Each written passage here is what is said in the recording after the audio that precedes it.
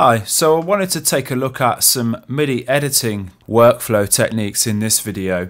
And we've looked a bit previously at the in the functions drop down and the MIDI transform. We have this edit drop down here and there's a couple of really cool features that not everyone's maybe aware of and ways we can edit MIDI in here. So I'm going to be focusing on this section of MIDI editing commands from select down to transpose. The ones above are quite self-explanatory and you might be familiar with cut, copy and paste and delete.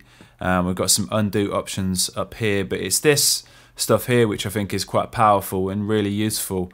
So I've got a little project here and we've got this quite busy bass riff or lead riff and let's have a look here at this select. So select all is quite obvious. We can just select all of the MIDI notes there. But we've also got this select all following. So, so we're working on this first region here and we're happy with the first bar and we want to change or edit or do some kind of command to all of the notes following this note here. We can select this note here and select all following and then it will select whatever we have selected. I mean, we've highlighted all regions and are looking at all the regions. So it selects all following notes from all regions that we've got selected in our piano roll, which is pretty useful. And we've also got a select all following of same pitch. So we're looking at this track and we're thinking from this note onwards, all of these notes what are D, and want to do something different with them. So I can go edit, select all following the same pitch and then it selects all those notes throughout the track. And these are quite useful little tools just when you come into a track and you're editing MIDI regions on a much larger scale than just a one or two bar region, but you've you've duplicated stuff up, you've made variations of MIDI regions, and you've got you know numerous MIDI regions going on in a project there. Stuff like this is really useful. Um, we've got select muted notes. So I select this muted notes and see these muted notes are now highlighted. So if you want to clean up your MIDI regions, get rid of the muted notes there, you can do very quickly without having to go through, you know, you can apply this sort of globally to all these MIDI regions here, go through and get rid of all the, the notes that we aren't using. We can just go edit select muted notes and it selects all of these muted notes throughout the whole project. And this is quite a useful one here, equal coloured notes. It's going to reference the velocity. You notice there's some changes in the velocity here. Some are kind of harder or higher velocity than others. Say if we want everything, all of these notes at this velocity, we want to bring them up in velocity, we can just highlight one of them, select equal coloured notes, and every single note now of that same velocity has now been selected. And we can move it up or down. And like I keep saying you know when you're working on a project and you want to change the velocity of a note in a region that's been then duplicated up so many times to be able to do that so quickly and easily is is quite powerful, quite a handy tool. Okay, now let's take a look at uh, one of the other select options and that's uh, same sub position. So let's highlight all of these regions again. Um, we're looking at this hook. We're thinking this second note here, that's wrong now. I decided that's wrong, but it's duplicated over all of these times. I can just highlight this this second hook in the in in the in this the second note in this hook. Highlight it here highlight it here highlight it here. And then go to my edit select same sub position and it analyzes the position of this note and the sub position and then it selects all notes in that same sub position throughout the entire project or just your region selection, how many regions you have highlighted and you're bringing in to display in the piano roll. And then I could say, move it up by an octave or down. And it's for the whole project. Really useful, same subposition, select.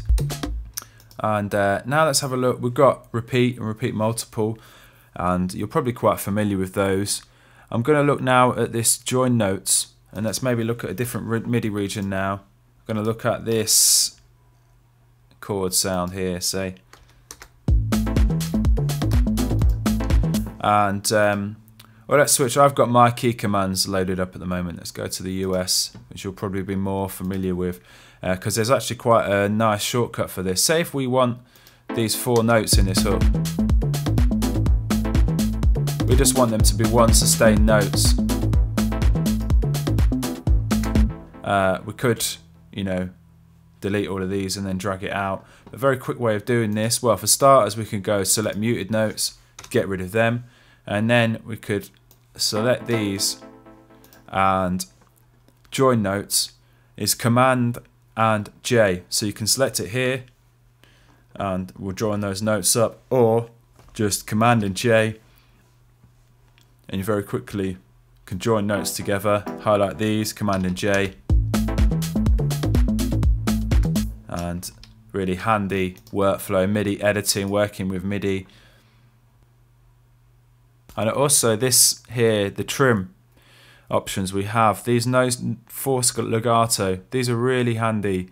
And um, say if we're working on a MIDI region like this, and rather than join all the notes of the same pitch as we did previously, we want legato, we want to extend all of these notes so they kind of go, they overlap, well not overlap, they extend until the next note. We could do this manually, but it's going to be a bit fiddly. We'll have to do a bit of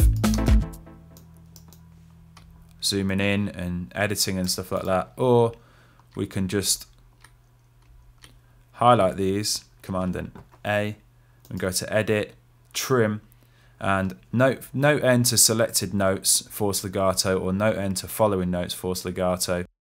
Both of these options work in a similar way and they will extend all of the selected notes so one extends until the, the next note starts in the region.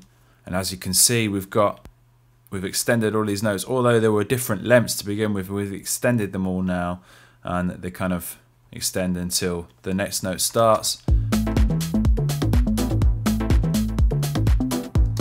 Which is a very handy shortcut and the final one I was going to discuss was the transpose and these are really handy shortcuts working with MIDI regions. So plus semitone, one semitone, minus one semitone, plus 12 semitones, so an octave or minus 12 semitones down an octave. And you also have shortcuts for these as well. So Alt and up, Alt or Option and up, Alt or Option and down, then Shift, Alt and up, Shift Alt and down. And let's just have a look at how quickly we can start editing. So go Alt or Option, down and I can just move notes around. If I hit right or left, I select different notes, move this down, use Alt and Option, or Alt and Option and up, or if I want to extend it up an octave, can do very quickly. Alt Shift and up, and then Alt Shift and down. Or just, you know, when you're previewing MIDI regions and you just want to shift the whole region up an octave, Shift, Alt or Option,